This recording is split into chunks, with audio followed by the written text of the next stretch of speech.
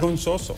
Dijimos que íbamos a hablar con Tomás Castro por la vía telefónica. Tomás, eh, buenos días. Sabemos que, como nos decías antes de comenzar este programa, es un día difícil y que en cierto modo se temían algo con Junior Ramírez y le habías eh, le había suministrado un custodia que le acompañó durante tres meses. Cuéntale a la gente, a este país, cómo fue que se dio esa circunstancia, qué pasó, eh, qué era lo que ustedes intuían y finalmente cómo eh, quedó entonces sin custodia.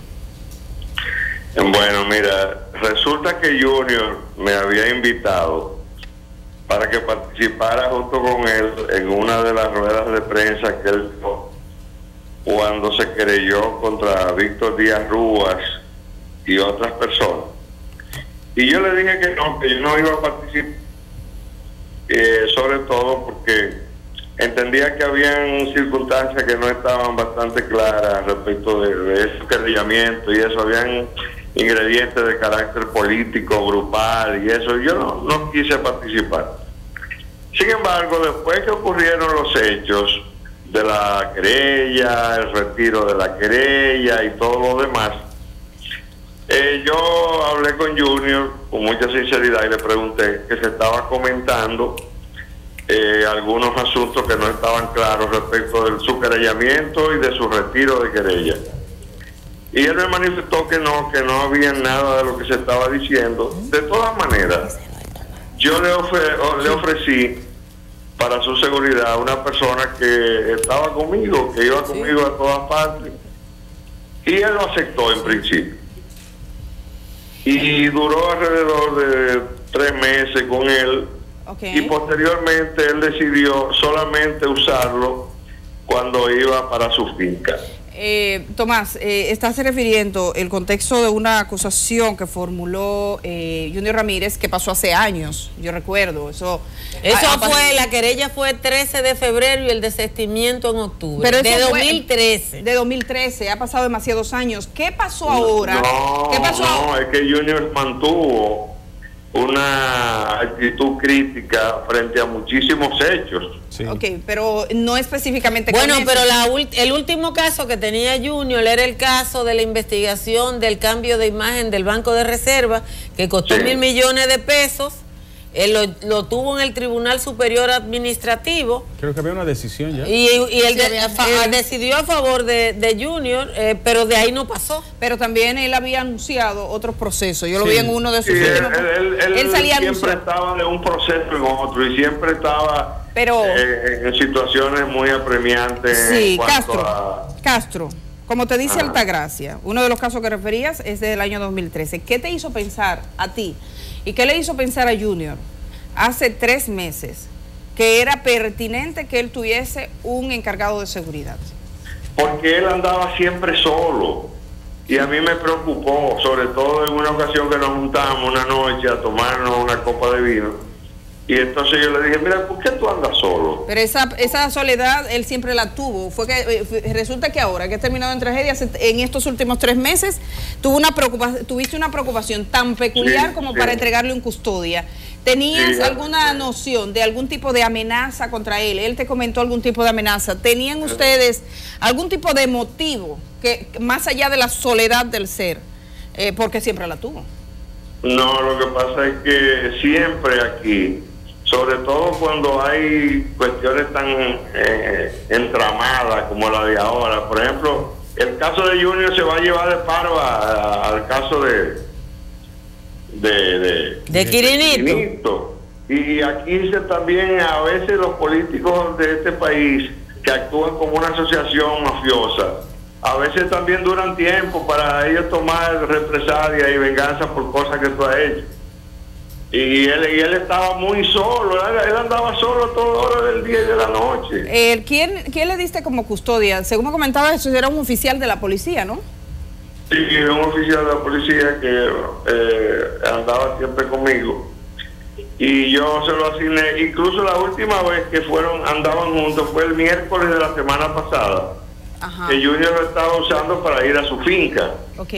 Donde tenía una siembra de aguacate y de limones. Y me mandó incluso eh, un saco lleno de limones y de aguacate que yo repartí entre mucha gente porque eran muchas cosas para Eh, ese, el miércoles de la semana pasada. El miércoles de la semana pasada. o sea, hace ayer así, eh, justo a la semana, ocho días después. Una semana después. Entonces, él te manda a decir que no necesita más. Que, no necesitaba más los, servicios de esa persona, que él, que él ya, ya no lo necesitaba. ¿Sabes algo sobre, como eres amigo de la familia y, fuiste amigo de, de Junior, sobre la, el contexto en el que es encontrado su cadáver, a más de lo que hemos visto?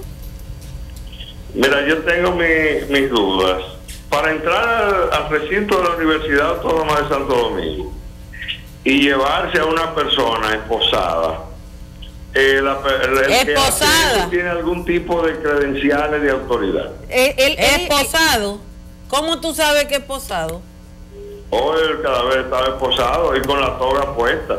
El tema de la toga, ¿cómo se, cómo se entiende? No, si él estaba en la universidad dando clases, se supone que la toga la tenía en su carro. Y los teléfonos aparecen en su vehículo, nadie anda sin sus teléfonos. Evidentemente que él fue apresado en el momento en que llega a su vehículo. Tú dices apresar y apresar implica que tú se lo estás atribuyendo a una autoridad. Sí, sí, no tengo ninguna duda de eso. De que fue, eh, de que se hicieron pasar por, por policías. No, posiblemente fueran policías. Consideras. Y, y, este mensaje ulterior de una cadena y dos bloques, ¿cómo tú lo ves? Eso tiene un mensaje también. Eso es tratando de desviar la atención para que se crea que precisamente se trata de un ajuste de cuentas del bajo mundo. Eh, pero con relación a la toga, eh, la toga es un mensaje. Tremendo crimen que se También, también. Porque, se supone que él no tenía toga. Si estaba dando clases no tenía, no toga. Una, una cosa, Tomás. A menos que no fuera a conocer alguna medida rápida o algo, como ocurre a veces, Tomás. Pero dejó su carro, el carro estaba en la UA con los teléfonos. Con los teléfonos. Si el carro estaba en la UA con los teléfonos y para dar clase nadie se pone toga. Él sale, eh, a él le pusieron la toga después que salió de la clase. Habría que preguntarle a los estudiantes de él, porque él firmó. Él firmó, y nadie anda en la universidad. O sea que tú firmas cuando va a dar una clase, el BEDEL te supervisa y si, si a él lo supervisaron, hay que preguntarle a los estudiantes a qué hora él se ausentó de la clase. Y si llevaba una toga. Y si llevaba una toga. O si le pusieron una toga que no era la de él. Porque si él no buscó los teléfonos y los teléfonos aparecieron, ¿por qué dejar un teléfono y ponerse una toga? No tiene sentido. Ahora bien, Tomás, eh, en este caso, en el caso de Junior Ramírez, tú sabes que en algún momento se había casi nunca irado de manera pública, pero se ponía en cuestionamiento porque afectaba intereses sobre las prácticas de la entidad que él dirigía. ¿Tú llegaste a tener conocimiento de eso y a conversarlo con él? Sí, porque es que él siempre consultaba conmigo, porque yo soy muy amigo de, Junior, pero sobre todo de su hermano, de Chico Mon, a que le decimos cariñosamente y incluso estuvieron oficinas en la misma plaza donde yo tengo mi oficina. Eso es en Gascue. En Gascue, en la Plaza Jardines de Gascue. Y, y siempre él me consultaba algunas cosas que iba a hacer. Ya. Y yo siempre le advertía algunas cosas porque yo conozco este medio, yo, yo sé cómo se mueven las cosas en la República Dominicana. El hecho de que le hayan puesto la toga también es un mensaje de que posiblemente su muerte esté relacionada con alguna de las actividades que como abogado realizaba. Ahora, de todas maneras... La última actividad que él realizó fue que subió a estrado a defender a uno de los estudiantes que están presos por el caso de la Federación de Estudiantes Dominicanos eh, de la FED. Ya, pero eh, cuando, cuando decimos de cuestionamientos a la entidad, de poco, poca rigurosidad o de choque de intereses, eh, ¿En ese caso él llegó a conversarlo contigo?